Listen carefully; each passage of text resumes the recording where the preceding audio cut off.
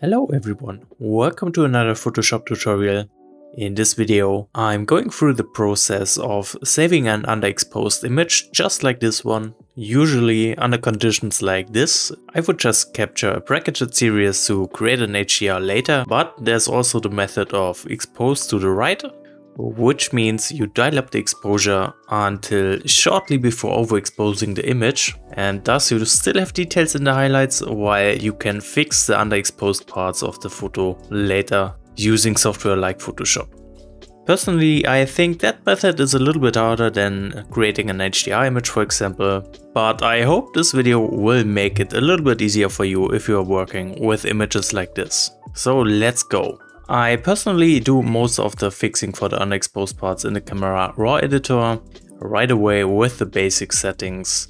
First off, let me change the profile right here to Adobe Standard and as you can see this will already just slightly brighten up the shadows and every little bit helps here.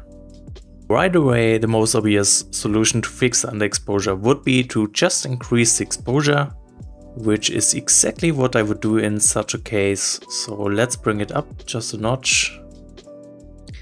Of course, this will not only affect the shadows, but also the highlights, which is a problem in this case. You can see back there, this area is overexposed. So we need to fix that now. And that's done by simply bringing down the highlights. You can see how we are getting back details from the clouds. So let's go with something like this. If there's overexposure left in this area right here, I personally don't really care since I'm going to add some heavy glow later anyway, just so you know. Now let's compare it to before. It's already much better, we have much more details in the shadows and the sky looks kind of okay, but we will work on that later. At this point I think I might also want to change the white balance Let's go with a daylight to very slightly warm it up. Alright, now after adding exposure and dropping the highlights, the next step for me would be to just raise the shadows. Of course, this will help quite a lot, increasing the details in the shadows, but you have to remember, this way we are losing a lot of contrast. So I'm I'm not going to overdo the shadows here. Instead, let's also increase the blacks a bit. Again, we will lose some contrast here by increasing the blacks. But this will also give the image some kind of soft look, which in some cases does look pretty nice. But anyway, to fix the lost contrast, I'm simply adding back some through that slider over here. Alright, Again, let's compare to the before image. We do have some more detail in the shadows and the sky does look better now due to the added contrast. Let's give this image some sharpness real quick by adding texture and a dreamy look by just dropping the clarity slightly. And while we're at it, let's add some vibrance, just so we get some more saturation going on here.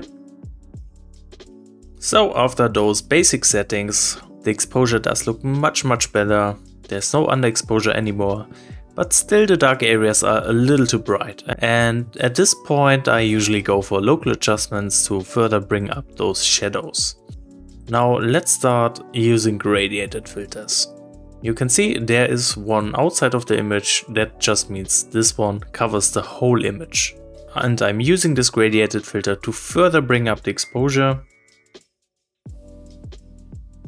And I'm also adding a little bit of contrast.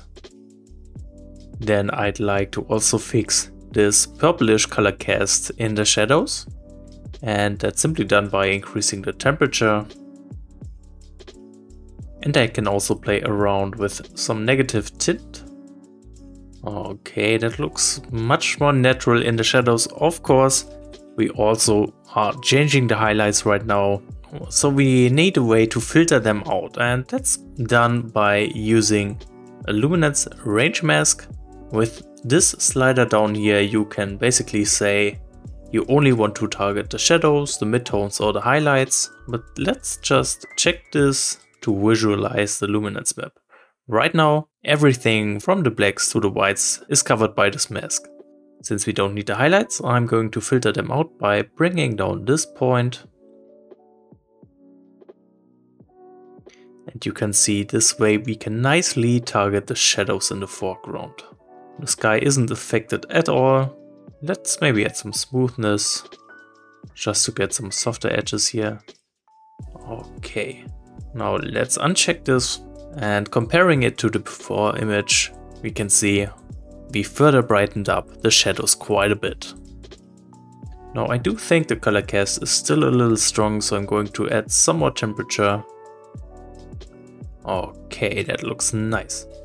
Very happy with the exposure. There's just one more thing I want to change and for that I'm using a radial filter. You can see I placed it over this statue in the center that's the part which I want to brighten up some more and in this case I'm just increasing the shadows. Which is really really helpful here. Alright, and let's again compare to before. And looking at the histogram we can see that worked really well here. So that is about it for saving an underexposed image. I hope this was helpful to some of you. If you're interested in the whole post-processing for this image, feel free to stay and let's go on completing the local adjustments. In the gradiated filters, you can see there are still two more of those gradiated filters. Here I just want to darken the sky some more, so I'm going to drop the exposure. By the way, here I'm using a color range mask to target the blue tones of the sky so the clouds and the statue mostly stay the same. Then for the foreground, I want to add some kind of vignetting effect leading into the image. But to make this area dark, I'm not decreasing the uh, exposure since that would end up with underexposure. Instead, I'm going to drop the whites. That gives me a much better darkness in the foreground in this case. And that's it for the gradiated filters. Now I still have one radial filter left and as I said before, I'm going to add some heavy glow in this area, so this might get a little overexposed, but I don't really care. To add the glow effect, I'm simply increasing the blacks. And I'm also dropping the dehaze. And that's it, here we have our glow effect. Alright, now after the local adjustments, let's do some color grading and I'm starting in the curves tab here I'm targeting the red channel. Since I want to improve those sunset colors some more, I'm going to just drag this point a little bit to the left.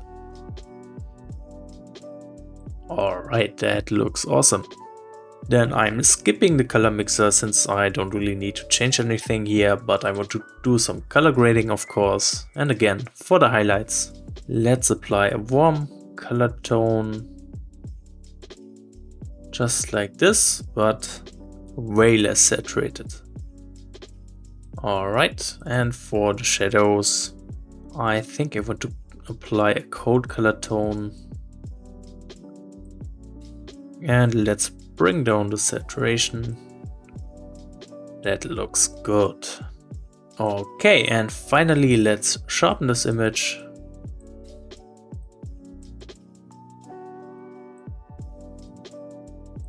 And now we can finish it in Photoshop. The very first thing I want to do is to clean up this shot a bit. So just in case I mess something up, I'm duplicating this layer by hitting Ctrl J. Now let's grab the lasso tool and let's start with this flagpole.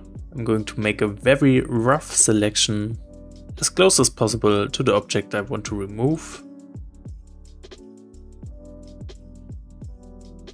And then let's hit Shift F5, choose Content Aware and hit OK. Alright, that looks pretty good.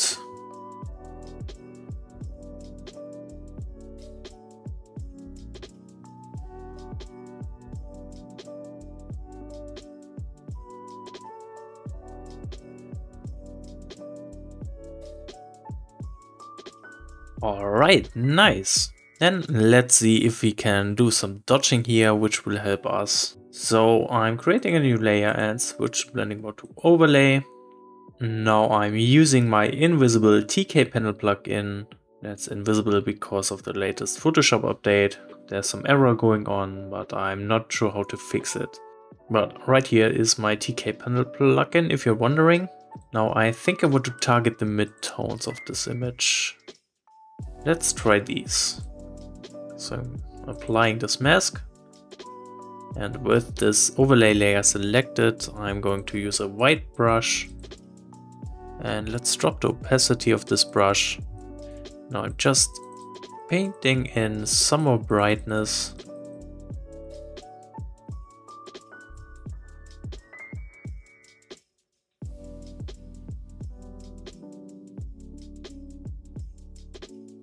and this helps quite a lot. Alright, let's merge those and then I'm applying a new layer again. This time let's go with the hard light blending mode because I want to add a little bit more glow here.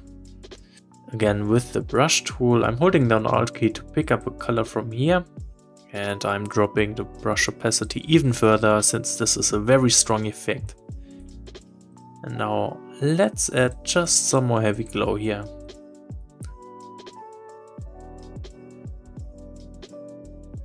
Alright, nice. Then again, I'm merging those two. And at this point, I want to check the Nik Collection plugin. In this case, I'm going with the Glamour Glow, as you can see. I have increased the glow warmth just a bit to fit the sunset a little more. And I think the glow intensity is good this way, so let's hit OK. Now I somehow have the feeling this cloud right here is a little distracting, so I'm going to try and fix that.